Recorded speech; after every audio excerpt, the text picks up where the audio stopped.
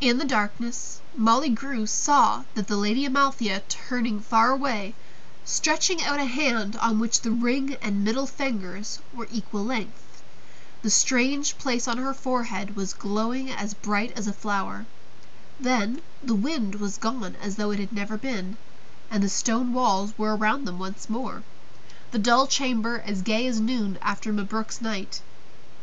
The Wizard was crouched almost to the floor staring at the Lady Amalthea. His wise, benevolent face looked like the face of a drowned man, and his beard dipped thinly from his chin like stagnant water. Prince Lír took him by the arm.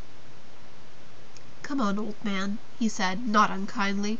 "This way out, Grandad. I'll write you a reference." "I am going," Mabruk said, "not from fear of you, you lump of stale dough nor your mad, ungrateful father, nor of your new magician. Much happiness may you have with him!" His eyes met King Haggard's hungry eyes, and he laughed like a goat. "Haggard, I would not be you for all the world," he declared. "You have let your doom in by the front door, though it will not depart that way.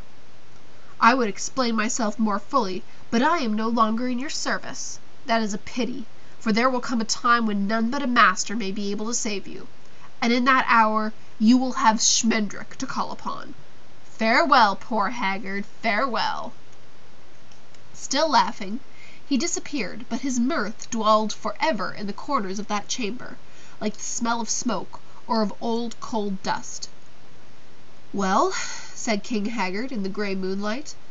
"Well?" He came slowly forward towards Schmendrick and Molly, his feet silent, his head weaving almost playfully. "Stand still," he commanded when they moved. "I want to see your faces." His breath rasped like a knife on a grindstone as he peered from one to the other.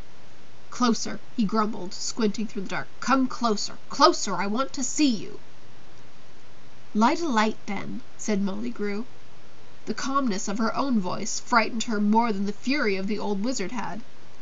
It is easy to be brave for her sake, she thought, but if I begin to be brave on my own account, when will it end? "I never light lights," the king replied. "What is the good of lights?" He turned from them, muttering to himself. "One face is almost guileless, almost foolish, but not quite foolish enough. The other face is a face like my face, and that must mean danger, yet I saw them all at the gate. Why did I let them enter, then? Mabruk was right. I have grown old and daft and easy; still I see only Haggard when I look in their eyes." Prince Lír stirred nervously as the king paced across the throne room toward the Lady Amalthea. She was again gazing out the window, and King Haggard had drawn very near before she wheeled swiftly, lowering her head in a curious manner. "I will not touch you he said, and she stood still. "Why do you linger at the window?" he demanded. "What are you looking at?" "I am looking at the sea," said the Lady Amalthea. Her voice was low and tremulous, but not with fear, but with life, and a new butterfly shivers in the sun. "Ah," said the king, "yes, the sea is always good.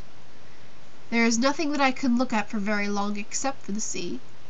He stared at the Lady Amalthea's face for a long time, his own face giving back none of her light, as Prince Lír's had, but taking it in and keeping it somewheres.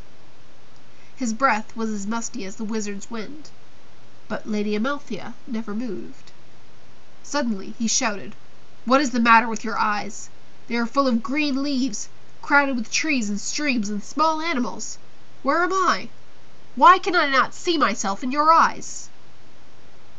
The Lady Amalthea did not answer him. King Haggard swung around to face Schmendrick and Molly. His scimitar smile laid its cold edge along their throats. "Who is she?" he demanded.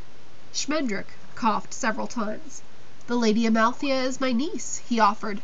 "I am her only living relative, and so her guardian. No doubt the state of her attire puzzles you, but it is easily explained. On our journey we were attacked by bandits, and robbed of all of our What nonsense are you jabbering? What about her attire?" The king turned again to regard the white girl, and Schmendrick suddenly understood that neither King Haggard nor his son had noticed that she was naked under the rags of his cloak. The Lady Amalthea held herself so gracefully that she made shreds and tatters seem the only fitting dress for a princess, and besides, she did not know that she was naked. It was the armored king who seemed bare before her. King Haggard said, "What she wears, what she may have befallen you, what you all are to one another, these things are fortunately no concern of mine. In such matters you may lie to me as much as you dare. I want to know who she is. I want to know how she broke Mabruk's magic without saying a word. I want to know why there are green leaves and fox cubs in her eyes. Speak quickly and avoid the temptation to lie especially about the green leaves. Answer me!" Schmendrick did not reply quickly.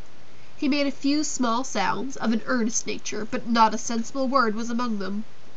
Molly Grue gathered her courage to speak, even though she suspected that it was impossible to speak the truth to King Haggard. Something in his wintry presence blighted all words, tangled meanings, and bent honest intentions into shapes as tormented as the towers of his castle. Still she would have spoken, but another voice was heard in the gloomy chamber the light, kind, silly voice of the young Prince Lír. "Father, what difference does it make? She is here now." King Haggard sighed. It was not a gentle sound, but a low and scraping. Not a sound of surrender, but the rumbling meditation of a tiger taught to spring. "Of course, you are right," he said. "She is here. They are all here, and whether they mean my doom or not, I will look at them for a while. A pleasant air of disaster attends them. Perhaps this is what I want." To Schmendrick he said curtly, "As my magician, you will entertain me when I wish to be entertained, in manners variously profound and frivolous.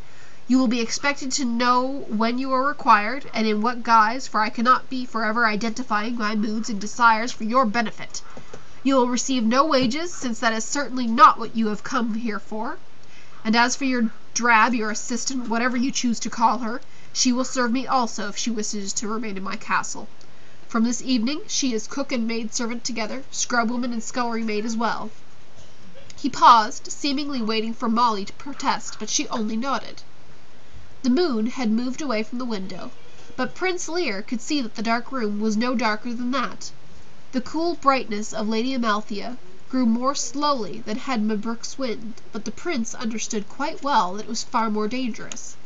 He wanted to write poems by that light, and he had never wanted to write poems before.